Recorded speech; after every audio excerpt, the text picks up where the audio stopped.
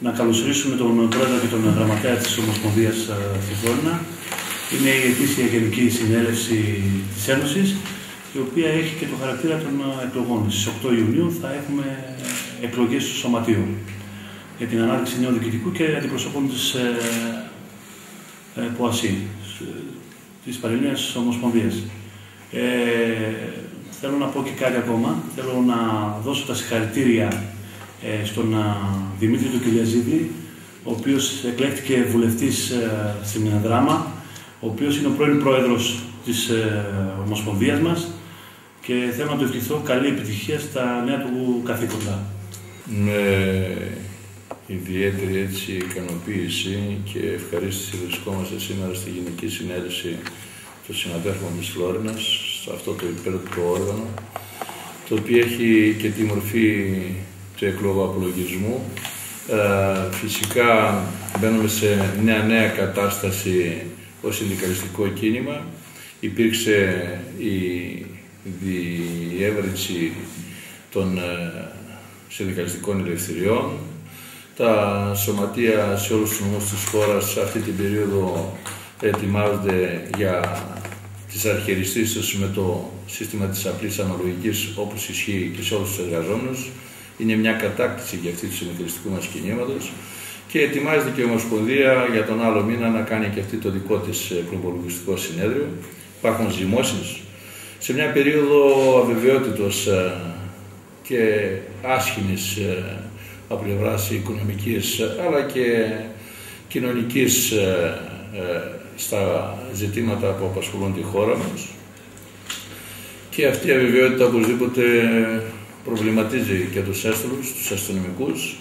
Υπήρξε η προεκλογική περίοδος που έφερε τα αποτελέσματα που έχουν καταγράψει τις ε, πολιτικές δυνάμεις στα ποσοστά αυτά που δυστυχώς ε, υπάρχει αυτή η αβεβαιότητα πλευράς ε, κυβέρνησης. Ευχόμαστε το επόμενο χρονικό διάστημα να υπάρξουν εκείνες οι προϋποθέσεις και προοπτικές που θα καταλήξουμε σε μια κυβέρνηση που θα κληθεί φυσικά να αντιμετωπίσει τη συσσόρευση αυτών των προβλημάτων των εργαζομένων. Ε, ανοίξαμε δρόμους ως Ομοσπονδία το προηγούμενο χρονικό διάστημα. Κινηθήκαμε με όλα τα κινήματα των εργαζομένων. Ε, βγήκαμε στους δρόμους ε, διαδηλώνοντας ε, και για τα δικά μας εργασιακά ζητήματα, αλλά στηρίζοντας και όλους τους άλλους εργαζόμενους.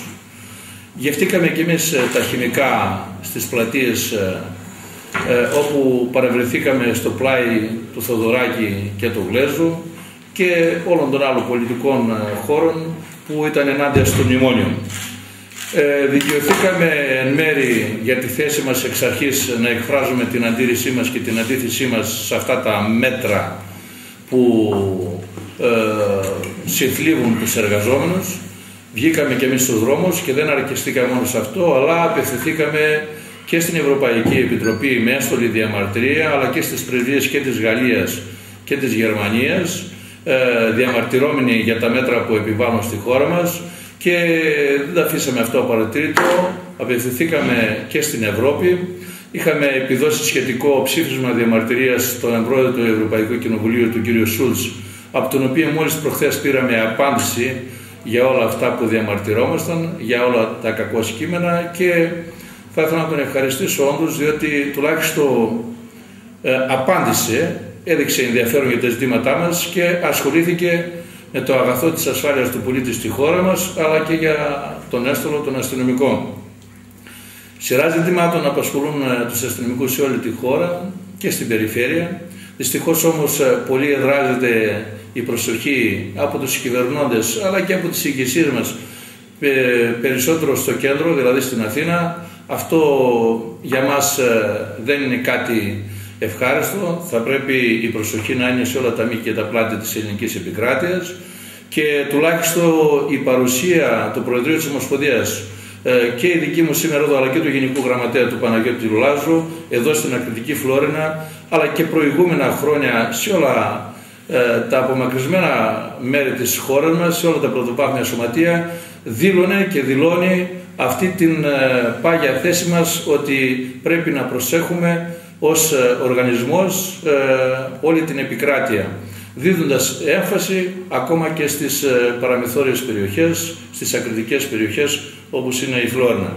Φλόρινα ειλικρινά υπάρχει μια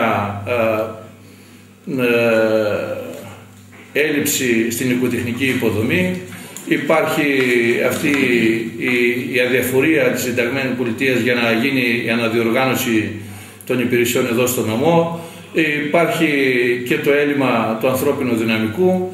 Δυστυχώς ε, απευθυνόμαστε σε ότα μία ακούοντων.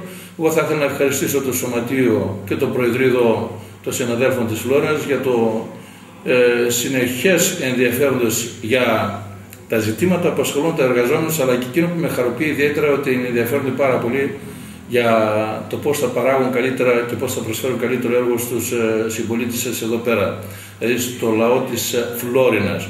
Η αγωνία τους κυρίαρχα εκεί εστιάζεται πρωτευόντως και δευτερευόντως στα δικά τους ζητήματα, δηλαδή τα οικονομικά.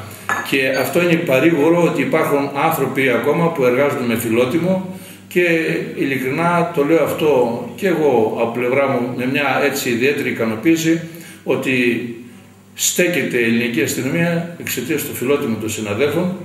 Όμως το φιλότιμο δεν είναι επίθυμο. Θα πρέπει και η πολιτεία να προσέξει τον εργαζόμενο αστυνομικό για να μπορέσει να προσφέρει καλύτερες υπηρεσίες στον πολίτη. Το έχω πει και άλλες φορές ότι η αστυνομική δεν είναι για την αστυνομία.